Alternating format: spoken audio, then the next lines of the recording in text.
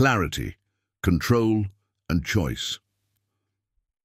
The chief task in life is simply this, to identify and separate matters so that I can say clearly to myself which are externals, not under my control, and which have to do with the choices I actually control.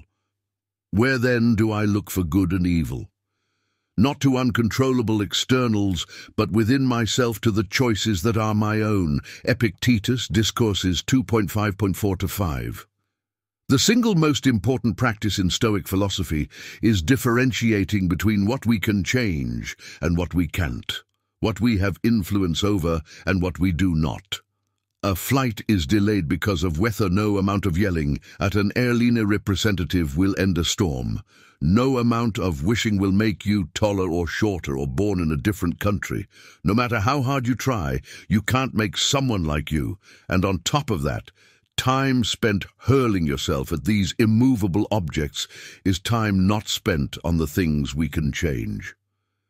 The recovery community practices something called the Serenity Prayer. God, grant me the serenity to accept the things I cannot change, the courage to change the things I can, and the wisdom to know the difference.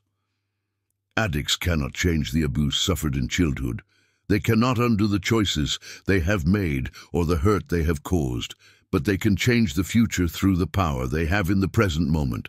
As Epictetus said, they can control the choices they make right now. The same is true for us today. If we can focus on making clear what parts of our day are within our control and what parts are not, we will not only be happier, we will have a distinct advantage over other people who fail to realize they are fighting an unwinnable battle. To support me, please consider subscribing, liking, and sharing the video with your loved ones. I would love to hear your thoughts, so feel free to leave a comment. Thank you for taking the time to watch.